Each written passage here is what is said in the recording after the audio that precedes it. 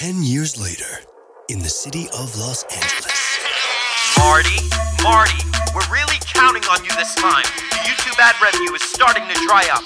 Get back out there and get us paid. Remember Marty? Major label A&R scout. Made it to the top, now his luck's running out. He can't stay focused, life is getting harder since his trophy wife ran off with the founder of a startup. You're as good as your last hit, but the well is run dry. Marty makes excuses and he blames Spotify. The label press calls and yells, Marty, you're fired. But after the divorce, he can't afford to retire. For the next year, Marty tries to find his way.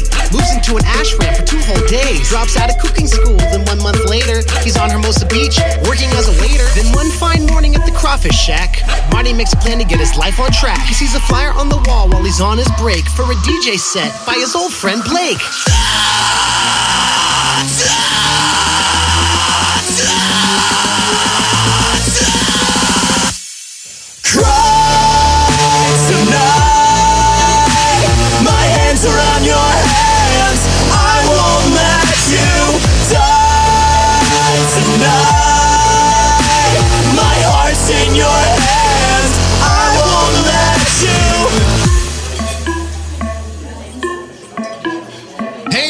It's Marty. It's been a long time.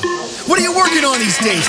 Blake and Marty, they go for coffee. Blake's gained weight and he looks a little sloppy. He catches Marty up on his last 10 bands and how Hearts the Hate is still big in Japan. And that his dubstep remix of Cry Tonight made the Hype Machine charts for one whole night. A hit is a hit, so Marty makes a plan to update Blake's image and reinvent his brand. Marty puts 20k on his credit card to help make Blake the newest EDM star. With a new website, agent and stylist, he funds his new EP called My Name is Krylex. He dyes his hair black for his emo revival. The new Cry Tonight video goes viral. Blake gets a slot on Warped Tour in EDC with his turn upset that the kids came to see.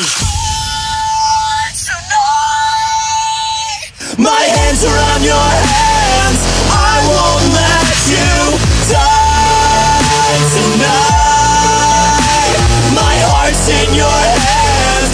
I won't let you.